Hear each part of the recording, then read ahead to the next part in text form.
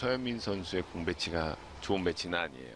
옆돌리기기는 한데 각도도 약간 빠져 있고 내 공도 장쿠션에 붙어 있습니다. 2021년 1월 20일에 방송된 PBA 64강 경기 중 마지막 배치입니다. 어떤 점에 주의해서 쳐야 할까요?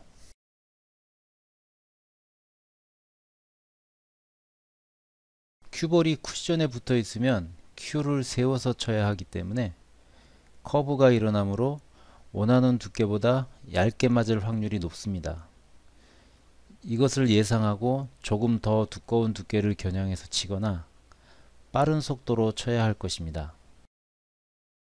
커브가 일어나는 것 뿐만 아니라 큐볼이 쿠션에 붙어 있어서 공에 보이는 면적이 좁기 때문에 충분한 회전을 주기 어렵다는 것도 예측할 수 있어야 합니다. 즉, 투팁의 옆회전도 주기 어렵다는 것입니다. 2021년 PBA 첫 챔피언인 서현민 선수가 실수할 만한 함정이 있다는 것을 실제로 이 배치를 두고 연습해 보면 알 수 있을 것입니다. 당구박사 홈페이지를 이용해서 이 배치와 같은 배치를 두고 연습해 보시기 바랍니다.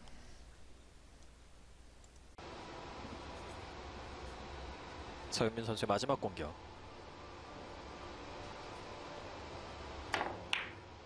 어, 좀 바짝 돈 것 같은데요. 자, 네. 서현민 선수 2021년 들어서 패배를 모르고 계속 경기를 이어왔던 그 신화가 여기에서 멈추게 됐습니다.